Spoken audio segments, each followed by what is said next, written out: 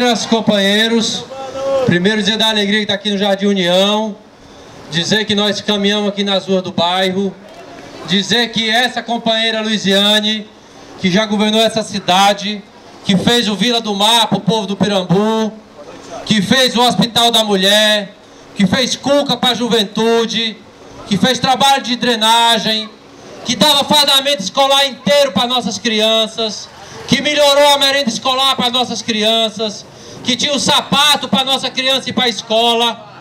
E, e infelizmente isso foi tirado do nosso povo. Mas nós também estamos vendo coisa que a gente não conseguiu fazer, como é o canal aqui por trás. E nós estamos devendo isso a vocês.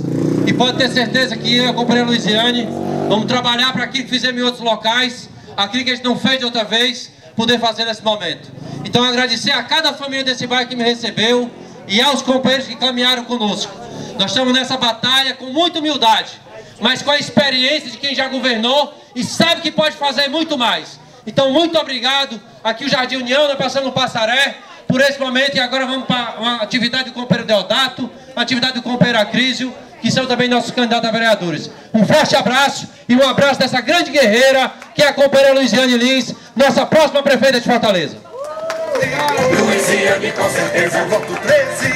Por amor Fortaleza, voto 13. Luiziane, com certeza.